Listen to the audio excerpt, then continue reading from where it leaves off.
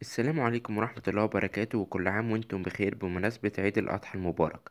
معاكم كريم مجدي من قناة Technology News. النهاردة هنتكلم عن سامسونج وآيفون 2017 وجوجل Nexus Pixel وال Oculus Touch وعن مايكروسوفت.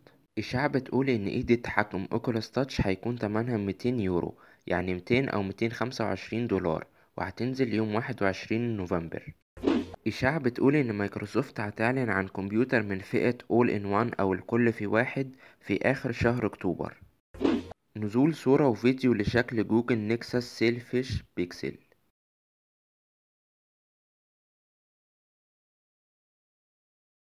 إشاعة بتقول إن جوجل هتنزل جهاز لوحي شاشته سبعة بوصة وفيه رامات أربعة جيجا من صنع هواوي وهينزل قبل نهاية السنة.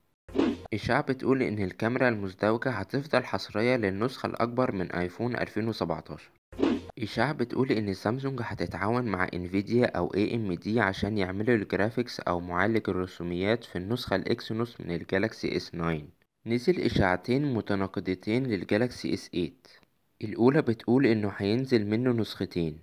نسخة بشاشة حجمها خمسة فاصلة واحد إنش والتانية خمسة فاصلة خمسة إنش. والاتنين هيكونوا منحنيتين.